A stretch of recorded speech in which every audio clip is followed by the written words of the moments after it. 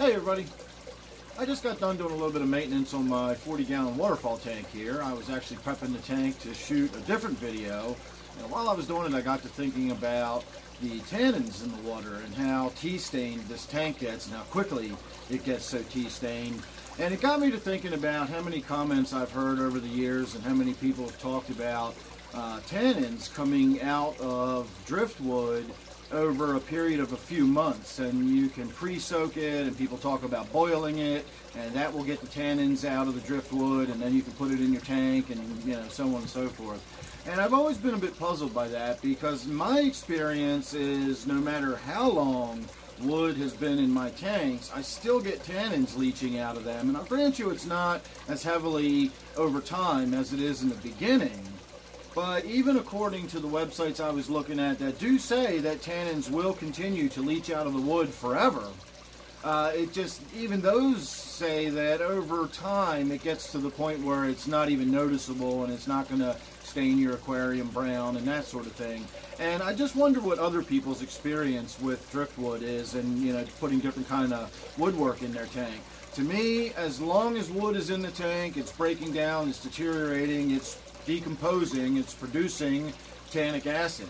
And that stains your tank brown. I, again, I've had tanks that have been up and running for years, like the better part of a decade, with woodwork in it. That's the same wood, it's been in there forever, and I still get tannin stains in the water. Now, I also know, or I've always been told, and I assume this applies to certain aquarium plants, Uh, I know terrestrial plants will produce tannic acid in their roots, and tannic acid is what tannins actually is. So, when I used to live in Florida, I used to go camping on the Suwannee River, and it's a blackwater river.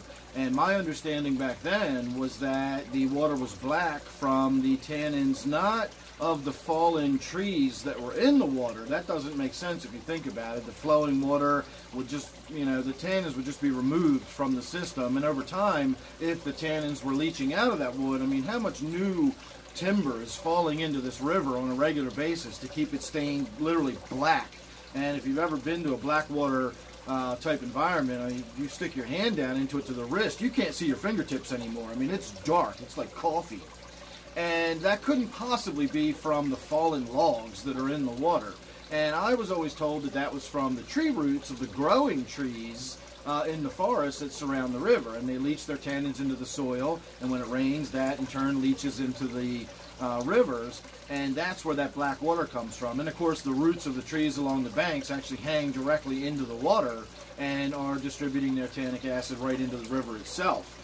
So I've always kind of thought the same thing was the case with my aquariums. And I know when you look at, say, the roots of Java fern in particular, it's a real dark brown. It almost looks like thick, coarse brown hair.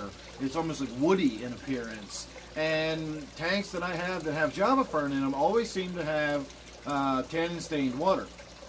And I was looking at my office tank.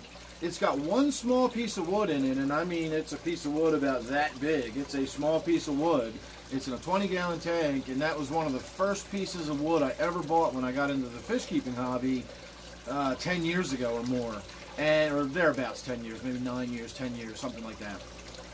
But it's been in the water all that time, and that tank still has tea-stained water in it. I just did a water change a week ago, and I was noticing how brown that water looks already. And it can't possibly be from that one little piece of wood even if that piece of wood was brand new, maybe then you'd get some really browning of the water. But again, for a piece of wood as old as that is, either it's still producing an awful lot of tannins, or the Java fern that I have. I have Java Windelov in that tank, and I also have a big uh, temple plant that grows up and out of the tank, and so there's a fairly significant root system there. Now, the roots on the temple plant are nice and white. They don't have that brown appearance. But that doesn't necessarily mean they're not producing tannic acid. I don't know how that works necessarily. But I do have a lot of Java in there, and that does have those brown, sort of hairy roots. And that tank has brown, stained water in it with one small piece of wood that has literally been underwater for almost a decade, you know.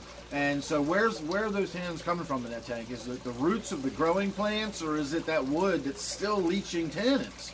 And either way, none of that lines up with what I always hear from everybody everywhere. This is another one of those things that everybody says that just, to my experience, says otherwise. I don't know why. Uh, for example, I look on uh, fish forums, and I'll save my opinion about what I think about fish forums for another video, maybe.